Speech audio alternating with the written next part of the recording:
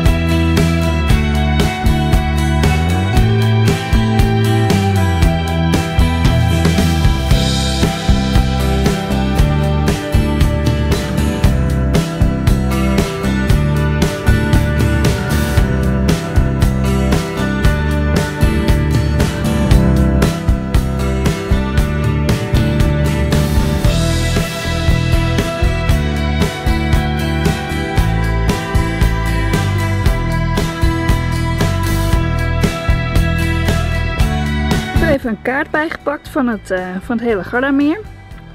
En uh, Piantella ligt in Monica del Garda. Dat is een heel klein dorpje en dat ligt aan deze kant. Over het algemeen kun je zeggen dat deze kant van het meer wat rustiger is dan, dan dit stuk. Hier heb je echt de bekende plaatsjes en daar is het in de zomer ook best wel druk en veel files.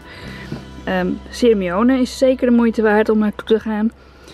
Peschiera, Bardolino, La Cise. Garda, dat zijn allemaal um, hele mooie Italiaanse dorpjes. Uh, als je er toch bent, ga daar zeker even kijken. Ik heb er ook uh, een artikel over geschreven op, uh, op. Maar goed, dan weet je dus dat Monica ligt aan deze kant.